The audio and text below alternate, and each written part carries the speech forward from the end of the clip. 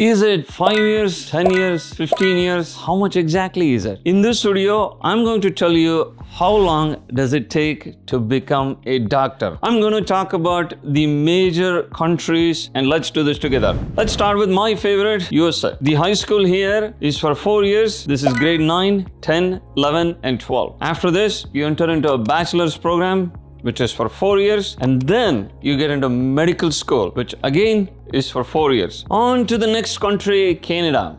The concepts in Canada are very similar to the US. You do four years of bachelor's and then four years of med school. Subsequently, similar to the US, you do end up doing residency. What country are you from? And how long does it take in your country to become a specialist doctor? Do leave in the comments below. The next on the list is UK. The medical school can range anywhere between 5 to 6 years. The degree you get is an MBBS or a MBCH B. Subsequently, people have to do specialization. There is a foundation training of two years, followed by a specialty training ranging from three to eight years, depending on what specialty it is. Subsequently, people do end up doing fellowships, although they tend to be mostly optional. Next on the list is Australia. Australia gives two options. So one is there is a direct entry as an undergraduate, and the medical school can be five to six years long. Or if someone has finished a bachelor's degree, then they can enter as a master's program called an MD. So the total before residency can range somewhere between 7 to 9 years. Once one becomes certified after residency, they become a fellow of the Australian Royal College. Next on the list is India. That's where I did my medical college from. The degree awarded is called an MBBS. It ranges for 4.5 years after finishing high school. Subsequently, there is one year of internship and most of the postgraduate training or residency training in India India runs for three years.